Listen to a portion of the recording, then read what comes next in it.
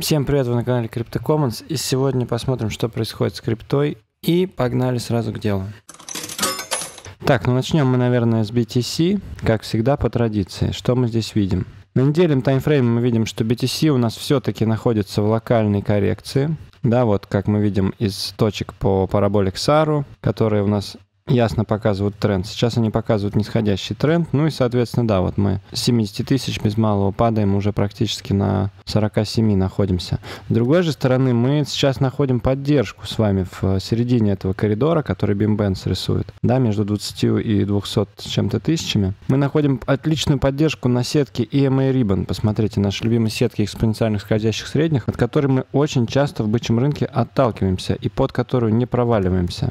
То есть, в принципе, теории прямо отсюда сейчас будет очень здоровым и логичным смотреться разворот и продолжение роста. Но многие сейчас паникуют, сходят с ума, пишут опять, что рынок медвежий. И давайте пробежимся по телеге, по твитам. Мы переводим по нескольку твитов зарубежной аналитики специально для вас. И я вижу столько хейта, столько пишут, я не знаю, это троллинг или что, пишут типа, ребята, хватит загонять всех в лонги, рынок уже медвежий и так далее. Друзья мои, во-первых, никто никого не загоняет. Давайте понимать, что вы же не бараны, а я вам не пастух, чтобы вас загонять стоило. Поэтому все решения принимаются сами, дисклеймер не финансовый совет, все взрослые ребята. Как говорится, если вы потеряли, то виноваты только в зеркале. Во-вторых, э, я просто с вами делюсь. Тем более, когда я перевожу твиты плана Б или еще кого-то, я же не свое мнение даже озвучиваю. Вот план Б сегодня пишет интересную вещь, что я использую модели, чтобы защититься от эмоций, пишет он. Сейчас большинство людей, включая меня, боятся дальнейшего снижения BTC. И как вы уже, наверное, знаете, многие стали хейтить плана B из-за того, что его прогноз не отработал в конце ноября и в декабре. Да, он прогнозировал 98 тысяч в ноябре и 120, э, сколько там, 128, по-моему, в декабре. И теперь все говорят, что все, план B это скам, модель не работает, все пойдет вниз вообще, биткоин туза дно, медвежий рынок. Ребята, я вам хочу напомнить, что модель плана B отрабатывала аккурат вообще, идеально, можно сказать, э, каждый месяц до этого. И это у нас с вами первое отклонение. Плюс я вам хочу сказать, что план B, конечно, молодец, но он не учел удлиняющиеся циклы. Вот, собственно, я сразу закидываю в чат.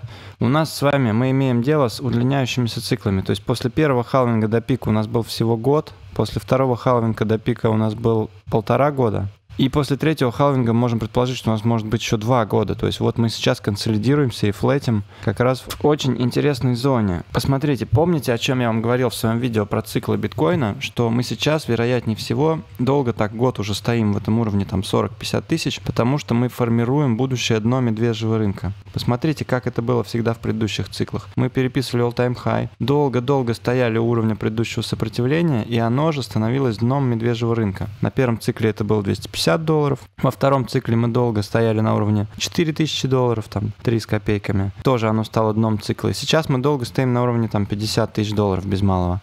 Поэтому смотрите, какая тема. Вернувшись к твиту плана B, обратите внимание на вот эту вот коробку, вот этот бокс между 50 и 200 тысячами долларов. Это зона, в которой, вероятно, у нас будет проторговка весь следующий год, исходя из этой модели. И что он здесь говорит? Что согласно модели мы находимся сейчас на нижней границе диапазона 50-200 200 тысяч, что является сигналом на покупку или зоной покупки исторически, да, исходя из модели. То есть верхняя граница этого канала, район 200 тысяч, это будет зоной для продажи. Понимаете? А сейчас мы исторически, сейчас мы технически в зоне покупок все еще. Опять же, возвращаю вам этот скрин, посмотрите и убедитесь в этом сами. Мы внизу этой новой зоны, в которую мы сейчас входим. То есть очень похоже на то, что мы просто сейчас находимся в гигантской медвежьей ловушке в удлиненном цикле. Дальше поехали. От себя вот я делал твит сегодня, что просто сравнивал. Посмотрите, трехдневный таймфрейм, Parabolic SAR и Market Cipher. Давайте я вам включу на графике покажу. Обратите внимание, трехдневный таймфрейм, Parabolic SAR. Несмотря на то, что здесь красная свечка, она еще не закрыта. Трехдневная свечка, она может закрыться зеленой. И Market Cipher, зеленая точка. Где у нас в прошлые разы такое было? Две точки на Parabolic SAR, Market Cipher, зеленая точка. Две точки на Parabolic SAR, Market Cipher, зеленая точка. Вот и все, ребята. Вы видите все сами. Понятно, что стрёмно, сейчас страшно, мне самому страшно. Это все выглядит, как будто мы сейчас пойдем вниз. Но это так всегда и выглядит вот здесь. Вы думаете, здесь не было страшно до вот этих зеленых свечек? Или вы думаете, здесь не было страшно? Поэтому смотрите, сейчас все очень похоже за такую же ситуацию. Опять же, то, что твитал у нас Кевин Свенсон на днях, что мы находимся в разворотном паттерне bump and run. Это такой тип, типа чашки с ручкой наклонной. Посмотрите, вот у нас есть наклонная линия сопротивления. В марте 20 была похожая ситуация. Мы сильно дампились, потом пробились, вернулись на ее ретест и полетели. Опять же, здесь тоже сильный дамп, пробили, вернулись на ретест. И по идее, вот если мы с текущих значений низа тузамуним, Ребята, но опять же, за тузамуним это не значит, что через 5 минут полетим в космос. Это значит, что в течение, там, грубо говоря, недели, может быть, и в январе уже, но полетим наверх. Опять же, мы же не сразу тут летим, смотрите, мы можем походить во флете, потом начать расти, но уже не падать ниже этих значений. И кто говорит, эти графики все не работают, это все там, все хаос, на самом деле это паттерны, это не просто фракталы, это паттерны тех анализов, которые как раз работают. Да, и говоря про bump and drum pattern, давайте я вам покажу кусочек Кевина Свенсона, замечательного аналитика. Кусочек этого видео, который перевел для нас Серфи, спасибо ему за это.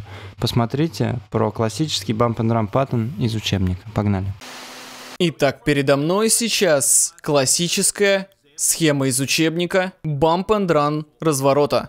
Я хочу поговорить об этом сегодня, потому что я вижу так много страха в крипторынке. Если вы посмотрите на социальные сети, похоже, что индекс страха и жадности выглядит вот так. Люди на краешке стула ждут основного падения в цене. Глядя на определение из учебника Bump and Run разворота, у нас есть фаза входа, несколько точек сопротивления образующих нисходящую линию сопротивления, потом фаза бамп, которая является основным сливом, за которым следует восстановление к предыдущей линии сопротивления и переворот этой линии тренда в новую поддержку. Итак, держа эту схему в уме, давайте вернемся к дневному графику биткоина и посмотрим, подходит ли он по параметрам этого паттерна. Возвращаясь к графику, похоже, что подходит. У нас есть фаза входа с нисходящей линией сопротивления, несколько точек сопротивления, потом фаза бамп, основная коррекция вниз, за которой следует дно и движение обратно к линии тренда. Посмотрим на биткоин. У нас есть фаза бамп, движение обратно наверх к предыдущему сопротивлению. Возвращаясь к схеме, у нас есть прорыв через линию тренда, за которым следует откат к линии тренда. Посмотрим опять на биткоин движение наверх и откат к предыдущему сопротивлению. Так что мы в классическом bump and run сценарии из учебника, несмотря на то, что криптосоциальные сети выглядят как-то вот так сегодня.